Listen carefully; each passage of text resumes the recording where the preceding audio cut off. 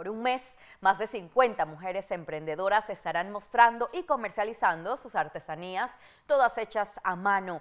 En el pasillo del Koala en Albrook Mall, la iniciativa es motivada por el Instituto Nacional de la Mujer, dando un espacio de oportunidades para las mujeres emprendedoras de todas las provincias que deseen crecer y vender sus artesanías típicas, bisutería, plantas, entre otras.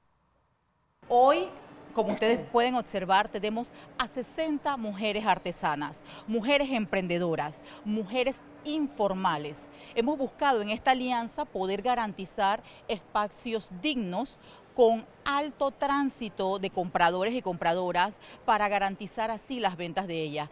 Ya llevo dos años trabajando aquí en este pasillo del emprendimiento y me ha ido muy bien, las personas les gusta. Hay personas que han venido este año que el año pasado vinieron a buscar piezas a complementar su, su, nacimiento, así que no tengo queja y estoy muy agradecida. Los precios parecen que están accesibles. Como no, ahí tenemos este, piezas desde 3 dólares, 5 dólares, 10 dólares, de, acuerdo como se vea elaborando, porque cada pieza es trabajada a mano. Cada pieza que usted se ve aquí es única, no hay ninguna eh, igual a la otra.